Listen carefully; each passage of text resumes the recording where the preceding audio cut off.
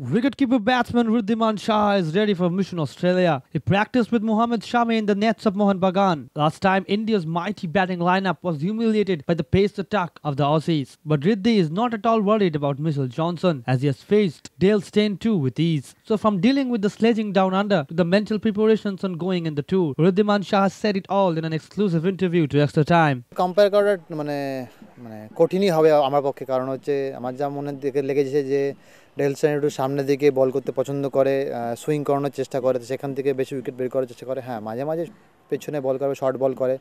ভ্যারিয়েশনের জন্য কিন্তু জনসন হচ্ছে একটু হিট করেই বল করে। তা মানে অতটা হয়তো মানে সামনে বল করার মানে ওর হচ্ছে মেন্টালিটি যে মেরে মেরে দিয়েও তারপর ব্যাটসম্যানকে ভয় দেখিয়ে সেরকম।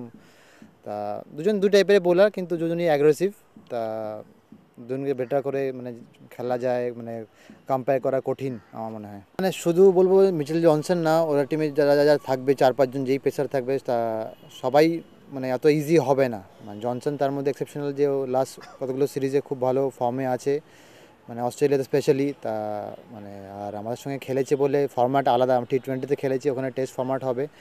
তা ইজি কোনোটাই হবে না মানে প্রত্যেক ব্যাটসম্যানকে মানে নিজের প্রত্যেক একটা রানের জন্য খাটতে হবে। কিন্তু মানে যতখানি তুমি স্পেন্ড করবে উইকেটে তাদের মানে বোলারদের মানে অ্যাগ্রেশন বা যতখানি টাইম স্পেন্ড করবে উইকেট টাইম দিতে পারবে উইকেটে ততখানি বেটার ব্যাটসম্যান দেওয়ার জন্য হবে। তো সবাইকেই করে থাকে মানে ইংল্যান্ড অস্ট্রেলিয়া বা সাউথ আফ্রিকা যেই খেলে থাকে এগেনস্টে মানে সবার সঙ্গেই করে থাকে, আমার সঙ্গেও করেছে, তো সেটা কোনো নাই মানে কিন্তু অনেকে হচ্ছে সেটাকে মানে চ্যালেঞ্জ হিসেবে নেয়, যে আমাকে বলছে যে আমাকে সেটা আমি মুখে না বললেও কাজে করে থাকো, যেটা ও করে, অতটা হয়তো মুখে বলে না।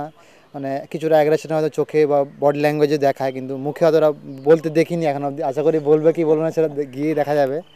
কিন্তু ওই মানে কিন্তু আমাদের এখন যে টিমটা এই সিরিজে যাচ্ছে, সেখানে আমার মনে হয় যে ওরকম কিছু বলে থাকে, ওরা হয়তো কিছুটা রিটার্নও পাবে হয়তো। সেটা অবশ্যই আগে থেকে যদি জানতে পেরে যাও তুমি ম্যাচ খেলছো যেখানে আনসার্টেনিটি থাকে যে কোনো সময় খেলব কি খেলব না এরকম থাকে। এখানে আগের থেকে জেনে গেছি যে আমি সম্ভবত পার্সেন্টেজ বেশি যে খেলছি, তা সেই থেকে একটা মানে পাওয়ার মানে প্লাস থাকবে যে মানে ব্যাক অফ দ্য মাইন্ড কিছু থাকবে না, শুধু জাস্ট গিয়ে পারফর্ম করতে লাগবে ব্যাটিং বা কিপিং তুমি যেখানেই বলো।